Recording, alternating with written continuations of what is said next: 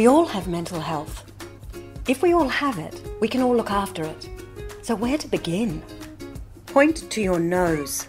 Point to your eyes. Point to your prefrontal cortex. Say what? If we want to know how to take care of our mental health, we need to know about our brain. So let me tell you a story about the animals that represent key parts of your mind. Meet the wise owl, the prefrontal cortex. It helps you make good decisions and problem solve. Next up is the guard dog, the amygdala, which, if it senses danger, helps you fight, freeze, or flee.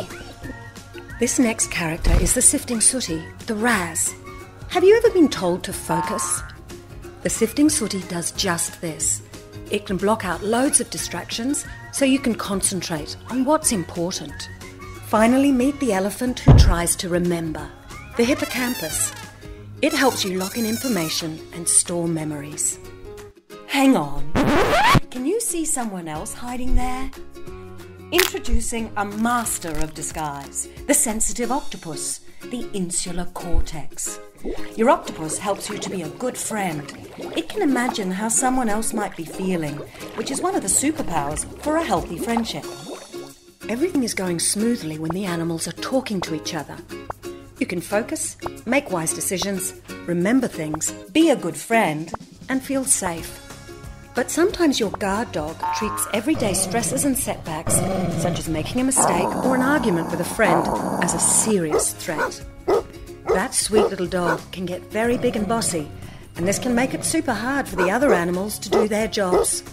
Here's the thing we can learn to recognize when our guard dog is getting big and be taught ways to shrink it. We can also learn daily practices that support our other animals, boost our mental well being, and, with any luck, enable us to flourish. Because life is full of ups and downs.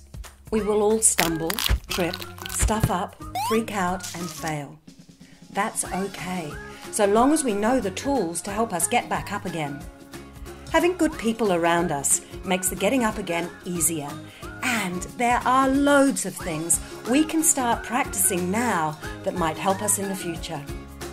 Come and learn about them with us and choose the tools that work for you.